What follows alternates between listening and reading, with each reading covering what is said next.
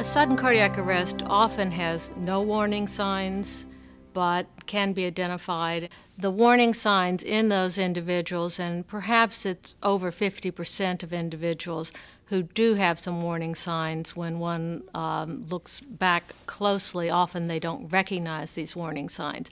But this may simply be lightheadedness, dizziness, even more pronounced would be fainting. Many times these uh, events are simply written off and, and not investigated.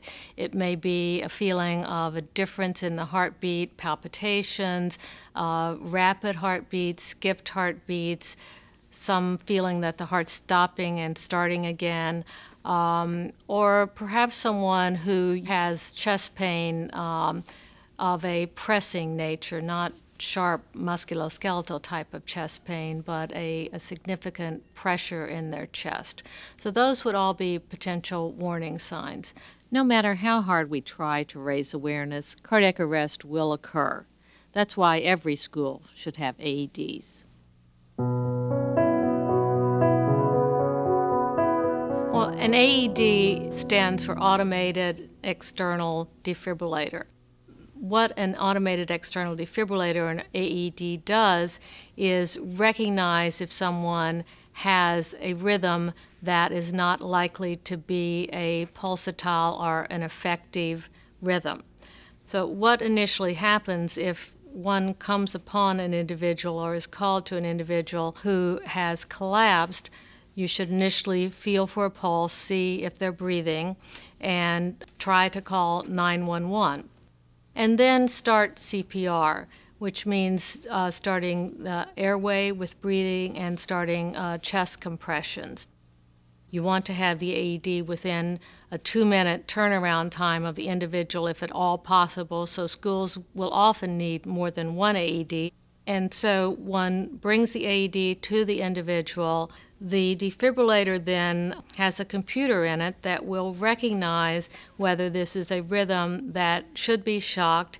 And many of the uh, AEDs will automatically shock. They do not make mistakes. It's one of the few things on earth that seems to be fail proof, and they will recognize if it's a shockable rhythm. It will either tell you to push the button or it will go ahead and shock the individual. It will then look again and see if there is a shockable rhythm still or if it's a normal rhythm. It will tell you if it's not a um, normal rhythm, you should start CPR again. Uh, do that for a few minutes and then restart the cycle.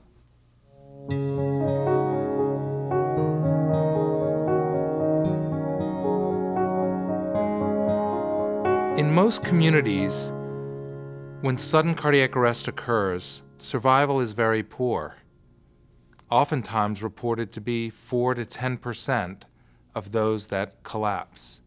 But with CPR and ready availability of an AED, one can quadruple survival from sudden cardiac arrest in the community.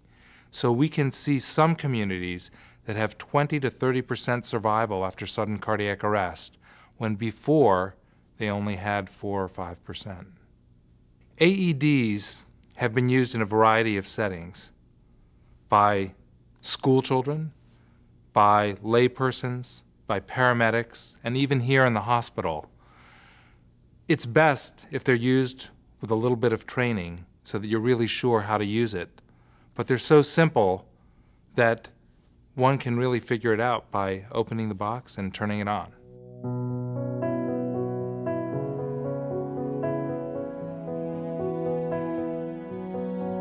If a school is interested in learning more about AEDs or if they have an AED and want to make sure that they are appropriately implementing their program, they can contact us here at the Children's Hospital of Philadelphia through our Youth Heart Watch program numbers. We encourage you to become a Youth Heart Watch school even if you already have AEDs.